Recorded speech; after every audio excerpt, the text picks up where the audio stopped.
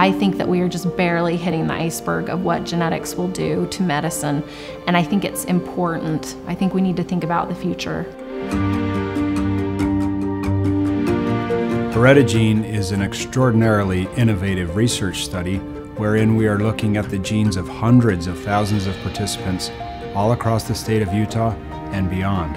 The purpose is to make discoveries that will improve the lives of participants and decrease the risk of disease in the future. This is important for us today and even more important for those who follow us tomorrow.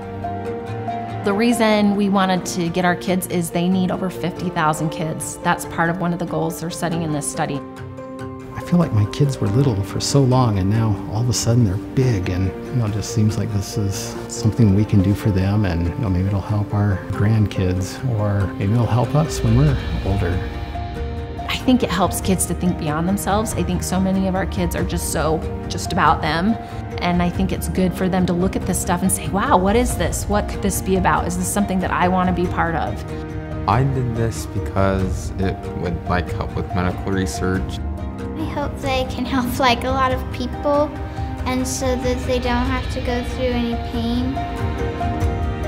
I really think that in my children's generation, we're going to see life changing, like miracle changing things.